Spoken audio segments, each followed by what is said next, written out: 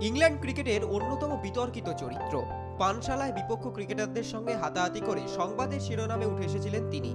মানসিক অবসাদে ভুগে ক্রিকেট থেকে বিরতিও নিয়েছেন। কিন্তু সমস্ত বাধাকে উপেক্ষা করে আবারও ফিরে এসেছেন বাইশ গজের ময়দানে।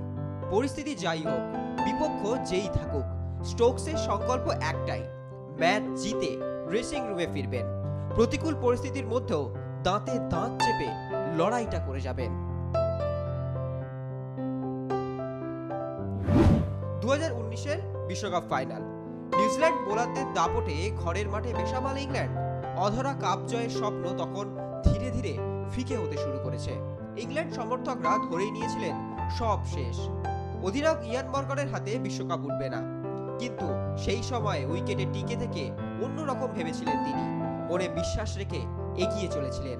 শেষ পর্যন্ত তার দুরন্ত ইনিংসের জোরেই প্রথমবার ওয়ানডে বিশ্বকাপ জয়ের স্বাদ পেয়েছিল ইংরেজরা। দু হাজার বাইশ টি টোয়েন্টি বিশ্বকাপ ফাইনাল অস্ট্রেলিয়ার মাটিতে বিশ্বকাপ জয়ের হাতছানি প্রতিপক্ষ পাকিস্তান তখন ইতিহাসের পুনরাবৃত্তি ঘটাতে দৃঢ় মনস্ক।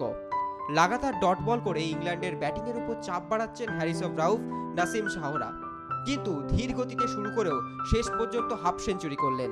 দলকে আবারও বিশ্বকাপ জিতিয়ে মাঠ ছাড়লেন। সাময়িকভাবে ম্যাচ হাতছাড়া হওয়ার আশঙ্কা তৈরি হলেও সেটাকে সত্যি হতে দিলেন না বিশ্বকাপ ফাইনাল যে সবসময় ফুলের পাপড়ি বিছিয়ে রেখেছে স্ট্রোকসের জন্য তেমনটাও নয়।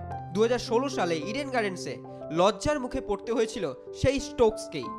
শেষ ওভারে চব্বিশ রান ডিফেন্ড করার জন্য তার হাতে বল তুলে দিয়েছিলেন ইংল্যান্ড অধিনায়ক। কিন্তু পরপর চার বলে চার ছক্কা হাঁকিয়ে স্টোকসকে চূর্ণ করে দিয়েছিলেন কার্লোস ব্যাথওয়েট। ছয় বছর পর সেই হারের সাপমুক্তি ঘটালেন Ben Stokes. Sports Bureau, Arohi News.